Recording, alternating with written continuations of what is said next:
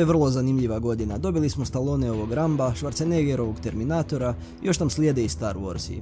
Rambo je bio zabavno podsjećanje na akciće 80-ih i 90-ih, zapravo niti novi Terminator nije daleko od istog rezultata.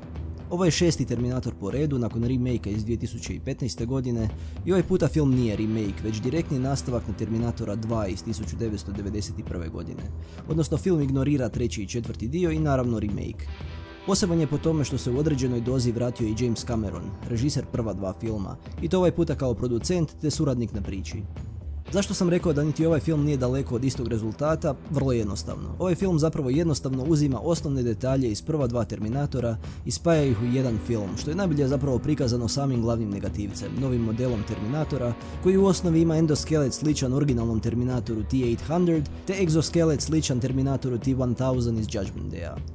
Meni su u osnovi svi filmovi do sada bili zabavni, prva dva su najbolja, ali od trećeg nadalje su bili dovoljno zanimljivi da niti jedan od njih ne smatram lošim čak niti remake Genesis. Svi su oni u osnovi filmovi za pogledati jednom i zaboraviti. iskreno, ovaj film bi bio isti takav da nema likova Sere Connor, odnosno Linde Hamilton, i Schwarzeneggerovog Terminatora, koji po mojem mišljenju zapravo daju dušu i nešto humora ovom filmu. Film bi i dalje funkcionirao u osnovi i bez njih, i ponekad sam čak osjećao da su možda nadodani kasnije, ali bez njih bio bi puno manje zabavan. Dakle da, smatram ovaj film zabavnim. Nije me razočarao jer nisam niti očekivao nešto posebno, no nije bio niti minute dosadan. Ali je bio izuzetno predvidljiv, odnosno radnja je tekla upravo onako kako sam očekivao i film je završio točno onako kako sam očekivao. I ako ste gledali prva dva Terminatora i vi možete vrlo lako predvidjeti kraj ovog filma. Osim spomenuta dva stara lika, nitko od novih likova nije nešto posebno pamtljiv. Najbolju priču i možda bolje rečeno najzaokruženiju priču ima Grace, ali niti ona mi nije bila nešto posebno zanimljiva. Sama priča je ok, kao što sam rekao, predvidljiva je, ali dovoljno jednostavna i brza da ne zamara, a jedan jedini mogli bi reći twist ili iznenađenje je u osnovi pokvareno thrillerom. Neću spojlati priču, ali s obzirom na događanja iz drugog dijela i napredak tehnologije u stvarnosti, glavna priča mi ukupno ima smisla, kao i razlog za repetativnost događaja. Dakle, ovaj puta imamo novog Konora, mladu Meksikanku Deni koja je bitna za otpor čovječanstva protiv robota u budućnosti. I iz te budućnosti stiže Terminator koji je želi ubiti. Jedna poboljšana djevojka koja je treba zaštititi. I u to sve se umiješaju naša Sera Connor i stari Schwarzenegger.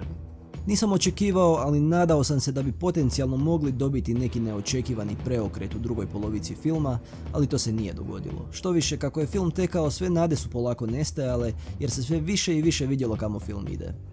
I da, naravno, film se veže i na trenutna američka događanja, Meksiko-SAD granicu, ilegalne prelaske, ali logično mi je da film prikazuje situaciju vremena u kojem je snimljen i to mi uopće ne smeta.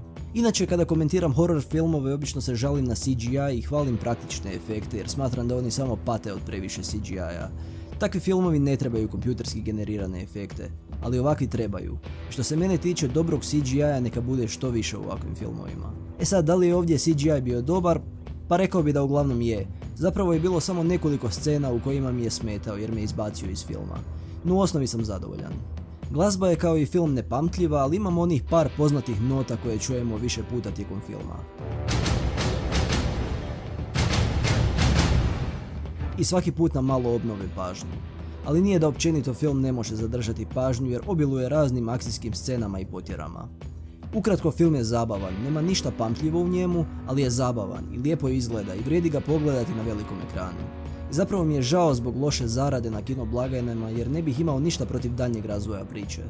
Još istoga meni osobno nikad nije smetalo. Za one koji ne znaju kojim redom gledati filmove i serije o Terminatoru, evo ukratko pregleda. Imamo zapravo više mogućih vremenskih linija, pa možete birati po želji što želite gledati. Prva i originalna linija započinje sa prvim Terminatorom iz 1984. Nastavlja se sa Terminatorom 2 iz 1991. pa ide redom u Terminator 3 Rise of the Machines iz 2003. koji prati odraslog Johna nakon smrti Sere Connor i završava se Terminator Salvation iz 2009. godine. Druga vremenska linija opet započinje Terminatorom iz 84. ide u Terminator 2 Judgment Day i onda ignorirate treći i četvrti dio i gledate TV seriju Terminator The Sarah Connor Chronicles iz 2008. godine. Treća i recimo najkanoničnija verzija opet ide od prvog filma, pa preko drugog, ignorira sve ostale filmove i serije i završava sa ovim najnovijim Terminatorom Dark Fate. I četvrta se sastoji samo od neuspješnog remakea iz 2015. godine Terminator Genesis, iako ovdje možemo dodati onu općenitu priču iz budućnosti iz prvog filma u kojoj John Connor šalje svojeg budućeg oca Kyla Risa u prošlost zaštititi svoju majku. Dakle, četiri mogućnosti su tu, možete odabrati po želji ili jednostavno pogledati sve jer kao što sam rekao sve filmovi su zabavni na svoj način, uključujući i ovaj najnoviji.